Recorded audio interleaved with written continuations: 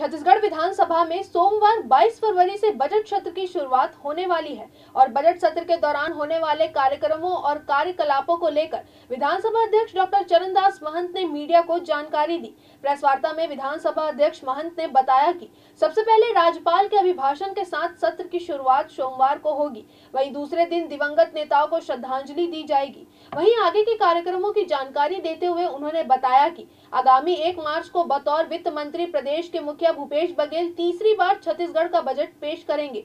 Budget के पेश किए जाने के बाद दो और तीन मार्च को इस पर चर्चा होगी। बता दें कि 22 फरवरी सोमवार से छत्तीसगढ़ के बजट सत्र की शुरुआत हो रही है, जो कि 26 मार्च तक चलेगी। दो और तीन मार्च का बजट पर चर्चा के बाद बजट अनुदान मांगों पर भी चर्चा होगी।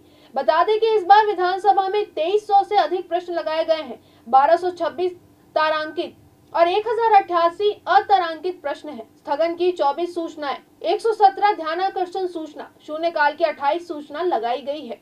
22 फरवरी को माननीय महामहिम राज्यपाल जी का अभिभाषण होगा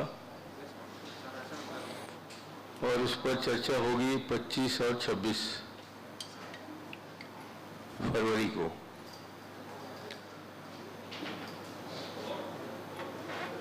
जैसा कि सामान्यतः विधानसभा के सत्र चलते हैं।